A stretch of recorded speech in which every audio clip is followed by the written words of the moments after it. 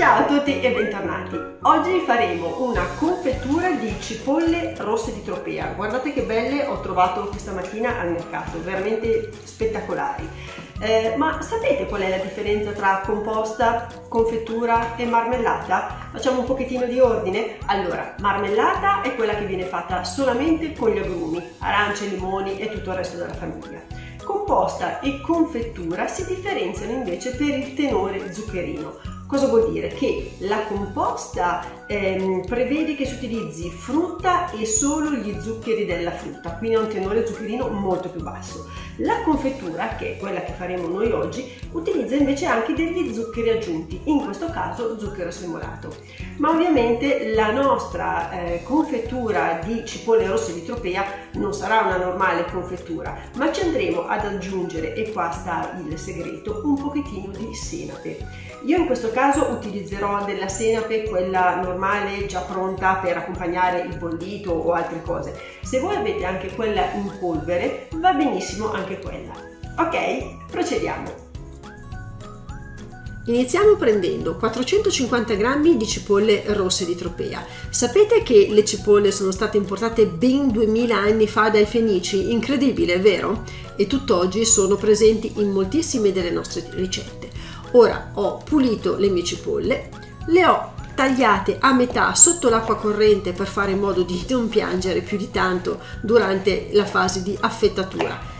Ecco, vedete, le ho affettate, le metto tutte quante in una ciotola, raccogliamo bene anche le briciole, aggiungiamo 300 g circa di zucchero semolato, un cucchiaino abbondante di senape, come vi dicevo prima sto utilizzando quella già pronta, voi potete usare anche quella in polvere. Diluisco la senape che mi è rimasta nella ciotolina con un goccio di aceto balsamico.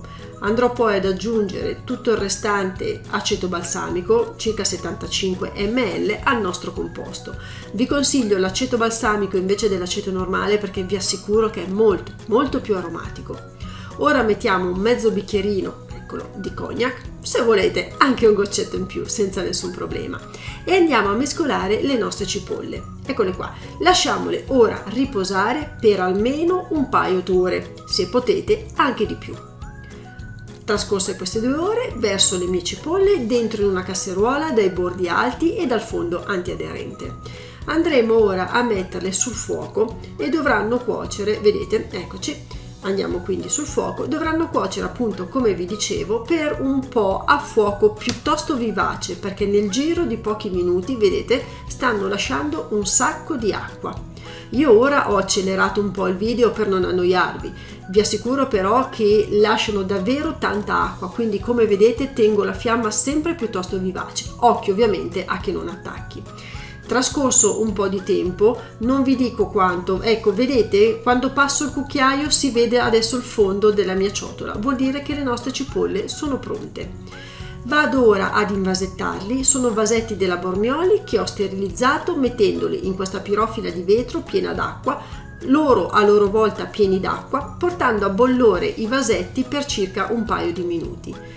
Ecco, ho li ho svuotati dall'acqua che contenevano, li ho riempiti con la mia confettura di cipolle, ora pulisco bene il bordo, vado a sigillare e in quel vaso che vedete, eccolo qua, dove mi è rimasta dell'acqua, occhio perché è bollente, la vado ad utilizzare per sciacquare un pochettino i miei vasetti perché li ho un po' sporcati, sono un po' tutti appiccicosetti. Vedete come è bollente? Ok. Ora per maggiore sicurezza prendo i miei vasetti e li ho messi a bollire in una pentolina piena di acqua per ancora 15 minuti. Eccoli qua.